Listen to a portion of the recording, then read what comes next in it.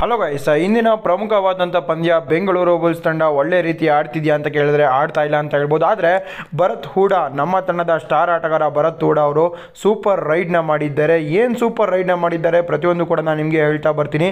ಪ್ರಮುಖವಾದಂಥ ಪಂದ್ಯ ಇವತ್ತು. ಪ್ರಮುಖವಾದಂಥ ಪಂದ್ಯದಲ್ಲಿ ನಮ್ಮ ತಂಡದ ಆಟಗಾರ ಸೂಪರ್ ರೈಡ್ ಮಾಡಿದ್ದಾರೆ.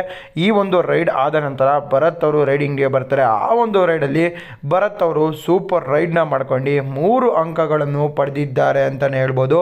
ನೋಡ್ಬೋದು ಯಾವ ರೀತಿ ಮೂರು ಅಂಕ ಅಂಪೈರ್ ಕೊಟ್ಟರು ಅಂತ ಸೂಪರ್ ರೈಡ್ ಆಗಿತ್ತು. ಆದರೆ ಇದೀಗ ಪಾಯಿಂಟ್ಸ್ ನೋಡಿ, ಬೆಂಗಳೂರು ಬುಲ್ಸ್ ತಂಡ ಒಂಬತ್ತು, ಪುಣೇರಿ ಪೈಟನ್ಸ್ ತಂಡ ಹದಿನೆಂಟು, ಅಂದರೆ ಒನ್ ಟು ಡಬಲ್ ಲೀಡಲ್ಲಿದ್ದಾರೆ ಒಂಬತ್ತು ಪಾಯಿಂಟ್ ಲೀಡಲ್ಲಿದ್ದಾರೆ ಹುಷಾರಾಗಿ ಆಡಬೇಕಾಗುತ್ತೆ ಇಲ್ಲಿಂದ ನಮ್ಮ ತಂಡ. ಯಾಕಪ್ಪ ಅಂದರೆ ಗೊತ್ತು ಸೆಕೆಂಡ್ ಹಾಫಲ್ಲಿ ನಮ್ಮ ತಂಡ ಒಳ್ಳೆ ಪ್ರದರ್ಶನ ಕೊಟ್ಟುತ್ತೆ ಕಮ್ಬ್ಯಾಕ್ ಮಾಡುತ್ತೆ ಅಂತ ಗೊತ್ತು. ಆದರೆ ಜಾಸ್ತಿ ಲೀಡ್ ಕೊಡೋಂಗಿಲ್ಲ. ಹತ್ತು ಒಳಗಡೆ ಇದ್ದರೆ ಕಮ್ಬ್ಯಾಕ್ ಮಾಡೋ ಚಾನ್ಸಸ್ ಇರುತ್ತೆ. ನಮ್ಮ ಇಂಜಿನ್ ಹೀಟ್ ಆಗಬೇಕು ಅಷ್ಟೇ. ಭರತ್ ಚೆನ್ನಾಗಿ ಆಡ್ತಾ ಇದ್ದಾರೆ ಸದ್ಯಕ್ಕೆ ನಮ್ಮ ಡಿಫೆನ್ಸ್ ಸೆಟ್ ಆಗಬೇಕಾಗುತ್ತೆ. ಅನ್ವಾಂಟೆಡ್ ಪಾಯಿಂಟ್ಸ್ಗಳನ್ನು ಕೊಡೋದನ್ನ ಕಡಿಮೆ ಮಾಡಿದ್ರೆ ನಮ್ಮ ತಂಡ ಈ ಒಂದು ಪಂದ್ಯಗಳನ್ನು ಗೆಲ್ಬೋದು ಸೂಪರ್ ರೈಡ್ ಮಾಡಿದ್ದಾರೆ ಭರತ್. ಪಂದ್ಯ ಬದಲಾಯಿಸಿದ ರೈಡ್ ಅಂತ ಹೇಳ್ಬೋದು. ಅಂದರೆ ಪಂದ್ಯ ಯಾವಾಗ ಬದಲಾಯಿತಪ್ಪ ಅಂದರೆ ಟ್ಯಾಕಲ್ ಮಾಡಿದಾಗ ಬದಲಾಯಿತು. ಆದರೆ ಈ ಒಂದು ರೈಡ್ ಕೂಡ ಪಂದ್ಯ ಬದಲಾಯಿತು. ಫಸ್ಟ್ ಆಫ್ ಅಲ್ಲಿ ಸೂಪರ್ ರೈಡ್ ಮಾಡಿದ ಭರತ್. ವಿಡಿಯೋ ಇಷ್ಟ ಆದರೆ ಲೈಕ್ ಮಾಡ್ರಪ್ಪ.